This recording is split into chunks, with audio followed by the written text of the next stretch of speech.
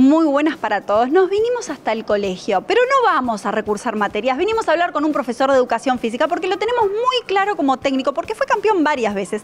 También estuvo como asistente técnico de la dirección. Nos venimos a encontrar con Leo Silverstein. Buenas. ¿Estás bien? Bien, ¿y vos? Bien.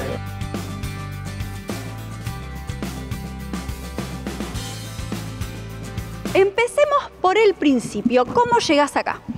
Bueno, eh, en el 2002 eh, yo me recibo ese año. El año anterior ya me había llamado Daniel Sechanovici, que era el coordinador, y bueno, fue técnico mío.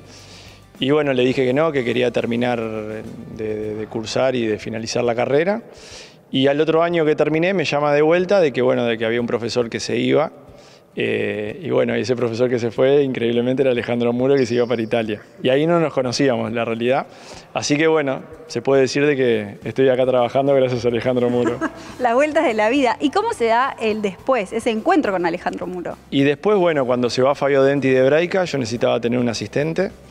Eh, hablé con Marcelo Signorelli, eh, hablé con Jesús Rostán y, y bueno, habían varios candidatos. Primero uno piensa en en amigos, llamé a amigos míos y, bueno, después llamé a Alejandro y enseguida. El descarte.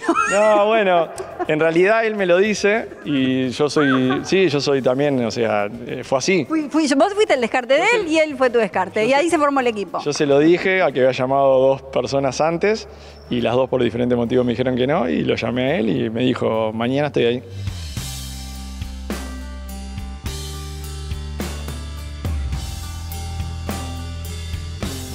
La edad más difícil para tratar? Porque si hay algo que tienen los niños muy chiquitos es que me divierto, estoy prestando atención. No me divierto, me levanto y me voy. Mira, eh, yo ahora estoy con, con, liciales, ¿no? A mí realmente es la edad que más me gusta.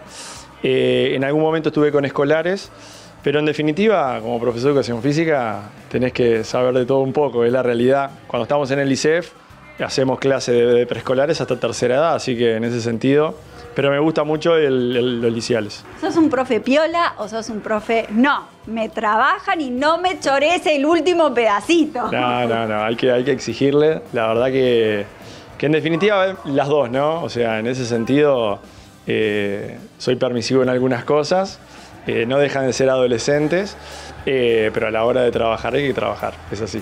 Te topas con los adolescentes que tienen sus cosas y también te topas con los jugadores que también ya son grandes, ya tienen sus mañas. ¿Cuál es la diferencia y cuáles son las similitudes entre ambos? Mira, eh, la docencia a mí me, encanta, ¿no? Y, también un poco el tema del básquetbol es hacer un poco de docencia.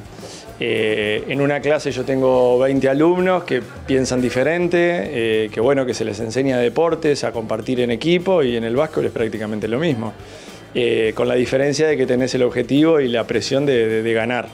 Eh, pero en definitiva, si bien son trabajos diferentes, uno con mucho más presión y otros capaz que te divertís un poco más, la realidad es que tienen semejanzas y tienen diferencias, pero cualquiera de las dos es algo apasionante para mí.